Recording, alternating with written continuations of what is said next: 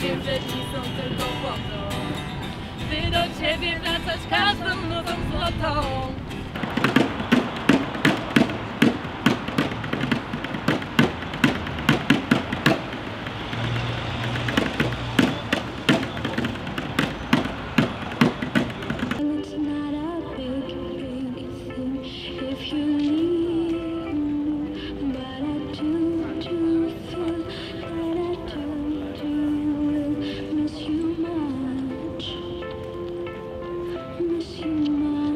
Ty dostrzegasz w ogóle osoby Oczywiście, że bezdomne? dostrzegam.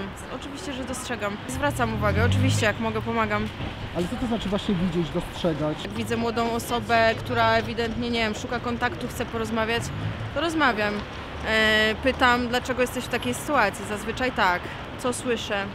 Naj, najczęściej, że rodzina nie akceptuje czegoś, że jakieś złe decyzje zostały podjęte i krok po kroczku gdzieś tam ta sytuacja się tak rozwinęła. Ja sama mogę powiedzieć o sobie, że niedawno wychodzę z piekarni z pizzą i widziałam człowieka, który wyciągał z kosza resztki pizzy. Podeszłam do niego i pytam, jest pan głodny?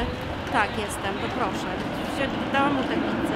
Tak reagujemy. Podchodzi do mnie rzeczywiście osoba bezdomna, e, bo to czasem ciężko stwierdzić. No i mówi, że potrzebuje pieniędzy, to w większości przypadków domyślam się na co te pieniądze pójdą. Ale jeśli na przykład chce jedzenia, bezpośrednio pyta o jedzenie, to nigdy nie miałem oporów z tym, żeby pójść kupić jedzenie. Coś, żeby ta osoba chociaż ten jeden wieczór więcej miała, no miała lepszy niż inne. Każdy może stać się bezdomnym. To nie wiadomo jak życie się potoczy, tak? No, także to, Czyli to nie zależy od człowieka, no w tym sensie, że każdego może to dotknąć. to każdego, ale zależy też jaki człowiek, czy twardy, czy nie, tak? Mhm. Zależy od, od człowieka.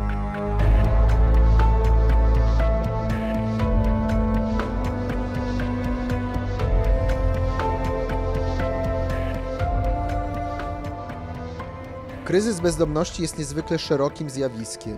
Osoby znajdujące się w takiej sytuacji mogą dosłownie nie mieć dachu nad głową i żyć na ulicy, śpiąc na klatkach schodowych i dworcach. Ten stan często pogłębia uzależnienie od środków psychoaktywnych, choroby fizyczne i psychiczne, utrata poczucia własnej godności. Jednak osoby w kryzysie bezdomności to również takie, które studiują, mają pracę, emeryturę, ale ze względu na życiowe kolejny, w które wpadli, śpią w noclegowniach, schroniskach czy hostelach i korzystają z pomocy państwa oraz organizacji pozarządowych. Eksperci mówią, że każdy, niezależnie od wieku, płci czy statusu społecznego, może doświadczyć bezdomności. Los bywa okrutny. Kim są? Co spowodowało, że znaleźli się w kryzysie bezdomności? Jak z niego wychodzą?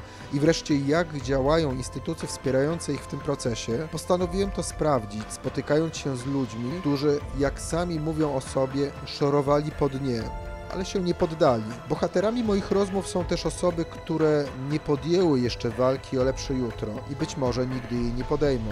Zapraszam do obejrzenia cyklu reportaży i wywiadów zatytułowanego Teraz tak wygląda mój dom.